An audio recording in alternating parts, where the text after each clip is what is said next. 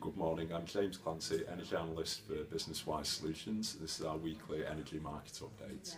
Um, electric and gas prices have both risen marginally, but only about by about 1% over the past week. On the gas markets, demand is slightly up for this time of year due to colder weather, and supplies are a little bit pressured uh, due to lower gas imports from Norway and the continent. This has led to small price rises in gas over the past week, but um, we're hoping this should correct over the uh, course of the month as there are three liquefied natural gas deliveries due to come into the UK in this time. Um, on the electric market, wind generation has fallen from last week and solar generation has been pretty low due to the cloudy and rainy weather.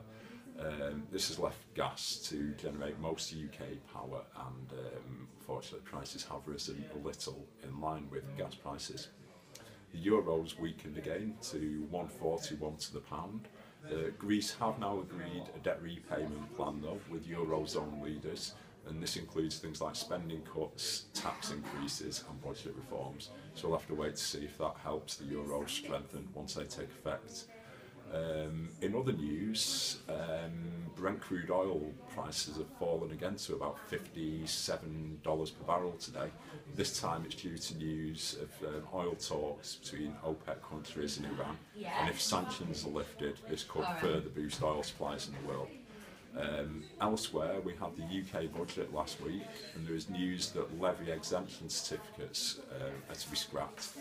Basically, these these allowed a discount to the climate change levy energy tax um, for green energy sources, um, which with these gone, it might take away the incentive for customers to place green energy contracts.